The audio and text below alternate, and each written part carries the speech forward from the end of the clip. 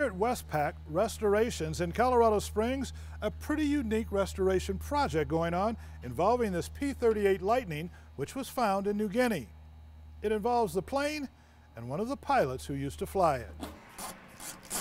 Not just a job, that's for sure. A symphony of men and machines.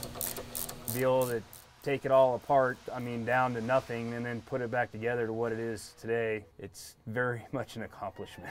song playing these days. I mean, the history on this airplane is significant. Was written 70 years ago. All the history is still in this airplane. World War II historians found this ship, White 33, in a jungle grave in New Guinea a decade ago. The owners chose Westpac to restore it, and then the project took a turn. This guy comes walking in. He was 93 or 94 at the time says, uh, I hear you got some P-38s, and you know I flew them in the war. Would you mind if I come back and took a look at them?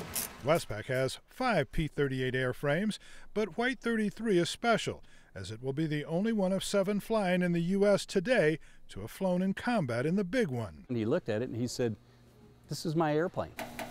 And Colorado flying vet Frank Royal knows why. That's one of the planes that I flew in combat in World War II fighter was new, Royal became instructor and squadron commander of the 39th Fighter Group, flying more than 200 combat missions. and when people hear well, his story, he gets you know, the hero treatment. People go to sleep if you tell the same story, so you have to embellish it a little bit now and then.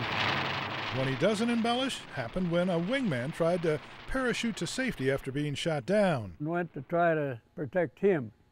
And uh, we all ended up in a big shooting expedition going around and around his chute, and he was like a monkey trying to run up and down the lines. The wingman landed safely in a palm tree. They were still shooting at me, but at, at treetop level, I could outrun them. But one of Royal's gas tanks was hit.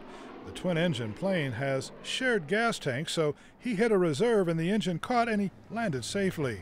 I just kind of caught my breath and sat there for a while. Fast forward 70 years. 100 year old Royal tells the workers I could fly the airplane pretty well. He doesn't have too much to live for except his visits to the hangar. And I said, Frank, you got to stay around. You got to stay around to see this airplane fly. And he goes, Hey, you're right. I forgot about that. So you know, it gives him something to come out and be a part of, and it's a big part of our history, so it works for both sides. Let's go around the other side here. If we have to strap him to a crane and lower him in, he's for sure gonna gonna be able to sit in the seat again. Maybe I can catch a ride someday. In the cockpit one more time before heading into the wild blue yonder. They're going to have to hurry. I think I've got another flight scheduled, my last flight. In Colorado Springs, with photographer Chris Mosier, Jon Bowman, Fox 31 Denver.